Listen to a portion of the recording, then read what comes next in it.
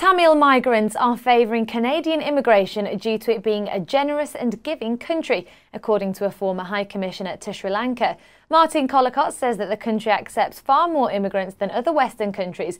Around 50% of refugees receive Canadian visas, compared to around 15% in other countries.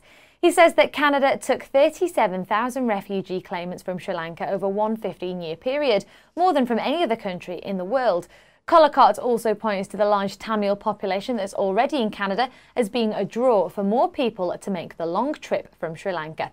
This comes after a cargo ship full of hundreds of Tamil migrants who want a Canadian visa landed on the coast of British Columbia.